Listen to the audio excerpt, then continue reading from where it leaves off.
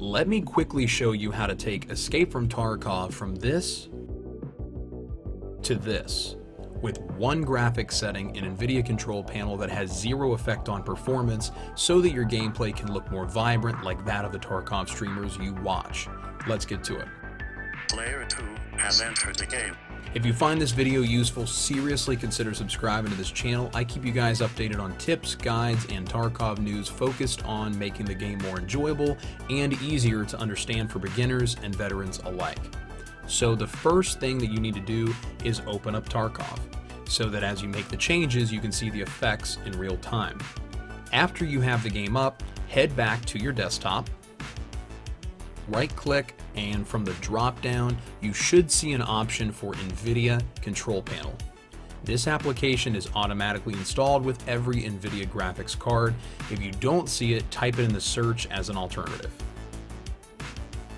Once you have it pulled up on your screen, there are a few different categories you can select on your left. But today, we're going to be using Adjust Desktop Color Settings. This should be found underneath the Display tab.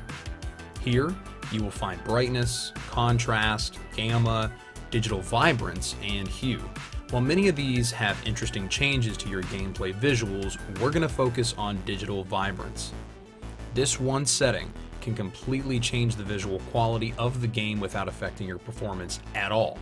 So what you need to know is it defaults to 50% and it can be adjusted by single digits. By increasing this setting, you'll notice that the colors on your screen tend to pop quite a bit more.